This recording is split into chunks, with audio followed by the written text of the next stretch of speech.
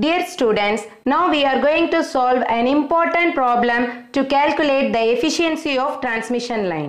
A generator of 1 volt 1 kilohertz supplies power to a 100 kilometer long line terminated in the characteristics impedance Z0 and having the following constants R is equal to 10.4 ohm per kilometer, L is equal to 0.00367 Henry per kilometer, G is equal to 0.8 in 10 to the power of minus 6 mho per kilometer, C is equal to 0.00835 in 10 to the power of minus 6 farad per kilometer. Calculate the characteristics impedance, propagation constant, voltage and efficiency, also the wavelength and velocity of propagation. So this is the given problem. It is very very important problem. Okay. So here the sending end voltage is given that is 1 volt.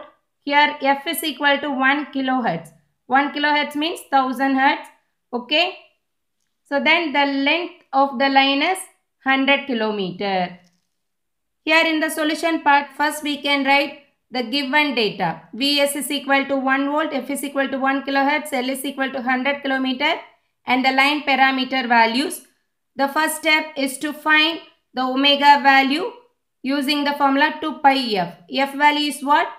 1 kilohertz. Okay. So 2 into 3.14 into 1000 is equal to 6280. This is the value of omega. Okay. After that we can find out the series impedance value Z is equal to R plus J omega L. Okay. So here we can simply substitute the values of R, omega and L. So Z is equal to 10.4 that is the value of R plus J. Omega value is 6280. L value is 0.00367. We can simply multiply these two values. Okay, we can get the value as 10.4 plus j 23 that is the series impedance value it is in rectangular form we have to convert that into polar form also because we are going to use both rectangular form as well as polar form in this problem i have already explained the rectangular to polar conversion and polar to rectangular conversion using calculator in the previous lecture video you can refer that video okay so here Z in polar form is equal to 25.24 with phase 66 degree. Okay, you have to remember these two values. Next, we are going to find the value of shunt admittance Y is equal to G plus J omega C. So here we are going to substitute the values of G, omega and C. Y is equal to G value is 0.8 in 10 to the power of minus x plus j. Omega value is 6280 c value is 0.00835 microfarad. Micro means 10 to the power of minus 6 okay? Then we have to multiply these two values. Then we can get 0.8 in 10 to the power of minus 6 plus j 52.5 into 10 to the power minus 6 so here 10 to the power of minus 6 is a common one. We can take it outside. So here this is the y value. In terms of rectangular form we have to convert this into polar form. Okay? Then we can get the value as y is equal to 52.5 into 10 to the power of minus 6 with phase value 89 degree. Do you all understand this one so now we have calculated the z value and y value in terms of both rectangular and polar forms okay Next, we are going to calculate the characteristics impedance Z0. Z0 is equal to square root of Z by Y. Here we are going to use the polar form of Z and Y values because the division can be done only in terms of polar form. We cannot use rectangular form. Okay. So the polar form of Z is 25.24 with phase 66 degree. Y value is 52.5 in 10 to the power of minus 6 with phase 89 degree. Okay. So here we can directly divide these two magnitudes value. Then we can get square root of 0.4807. 25.24 divided by 52.5 is 0.4807 in 10 to the power of plus 6. This minus 6 becomes plus 6 in the numerator. In case of division, the phase angles can be subtracted and divided by 2 because of this square root. So here 66 minus 89 divided by 2. Then we can get the value as 693 with phase minus 11.5 degree ohm per kilometer. So this is the characteristics impedance value 693 with angle minus 11.5 degree ohm per kilometer. Okay. So next we are going to calculate the value of propagation constant gamma is equal to square root of z into y. So we can use the polar form since it is a multiplication. So here 25.24 with angle 66 degree multiplied with 52.5 into 10 to the power of minus 6 with angle 89 degree. The same way we can simply multiply the magnitudes together. That's value is 1325.1 in 10 to the power of minus 6. In case of multiplication, we can simply add the phase angles and divide by 2 because of the square root. Okay. So here 66 plus 89 divided by 2. Then we can get the value as square root of 1325.1 in 10 to the power of minus 6 is 0.0364 with angle 77.5 degree. So here the propagation constant is in polar form. We have to convert that into rectangular form because the gamma value is also equal to alpha plus j beta. Correct? So we have to convert this polar form into rectangular form to get the values of attenuation constant alpha and phase constant beta. So this is the corresponding rectangular form of this polar form. Gamma is equal to 0.0079 plus j 0.0355. As gamma is equal to alpha plus j beta, we can equate the real terms together. So alpha is equal to 0.0079. Its unit is Nepers per kilometer. So here we can equate the imaginary part. So here beta is equal to 0.0355 radians per kilometer. So now we have obtained alpha and beta values. After getting the values of alpha and beta, we can find out the wavelength and velocity of propagation using beta value. So wavelength lambda is equal to 2 pi by beta. We can substitute that beta value here. So 2 pi by 0.0355 that is equal to 177 kilometer. So that is the wavelength of the given transmission line. So next velocity of propagation V is equal to omega by beta. Omega value is 6280 divided by the beta value is 0.0355.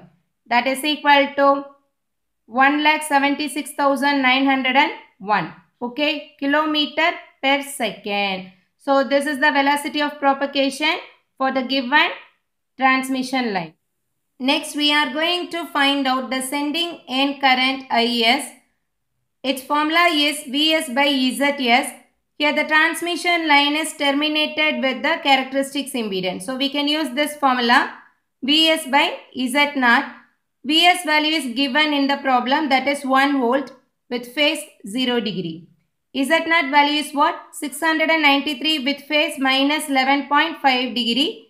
Then we can simply divide these two values. Okay. So we can get 0.00144. Angles can be subtracted. Correct. So 0 here we can say 0 degree minus of minus 11.5 degree. We can get plus 11.5 degree for this sending end current.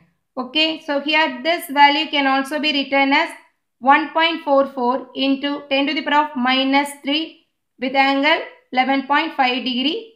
Unit is amperes. Okay, so 0.00144 can be written as 1.44 into 10 to the power minus 3. This 10 to the power minus 3 can be written as milliamps. Okay, so this all are correct. Okay. So next we are going to get the value of sending end power PS that is equal to Vs into Is. Here the PS value is equal to Vs value is what? 1. 1 into this value is equal to 1.44 in 10 to the power of minus 3 with angle 11.5 degree watts. Okay. Next we are going to find out the received current value IR. The relation between the received current and the sending current is given here. So IR is equal to IS into e power minus gamma L. This minus gamma L can be written as e power minus alpha L into e power minus j beta L. As we all know that gamma is equal to what? Alpha plus j beta. Do you all understand this? So e power minus gamma L can be written as e power minus alpha L into e power minus j beta L. So next we are going to get the values of this one as well as this one. Okay. So here alpha into L. L is given in the problem that is 100 kilometer. So we are going to obtain the total attenuation throughout the line. Okay. So 0.0079 that is the value of this alpha multiplied with this 100 we can get 0.79 nepers. Okay. So here e power minus alpha L that is equal to e power minus 0.79. So we can get the value as 0.454. So we can use the calculator and substitute this value. Okay. Exponential power minus 0.79. Okay. So next for this beta L. Okay. So beta value is what? 0.0355 into L value is 100. We can get 3.55 radians. So here e power minus j beta L. So e power minus j theta means we can say it is in degree. Okay. So here this e power minus j beta L is representing the angle of the given value 3.55. So here it is a minus sign. We can take the angle as minus 3.55. It should be in degree. Okay, e power minus j theta always represents what? The value in degree. So here 1 radian is equal to 57.3 degree. Correct? This is the relation. 1 radian is equal to what? 57.3 degree.